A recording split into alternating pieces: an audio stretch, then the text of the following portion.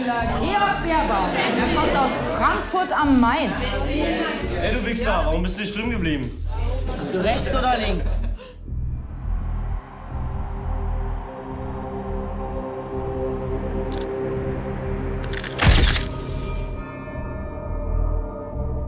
Ich gehöre hier nicht her. Und ich werde hier niemals hergehören. Der Typ gefällt mir nicht. Ist ein Kämpfer.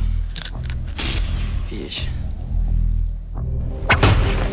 Glaubt, etwas zu sein, hat aufgehört, etwas zu werden. Taekwondo ist mehr als nur ein Sport.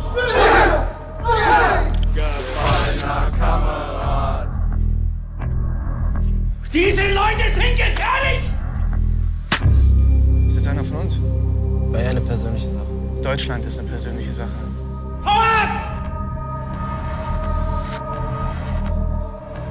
Die größte Leistung besteht darin, Den Widerstand des Feindes ohne einen Kampf zu brechen.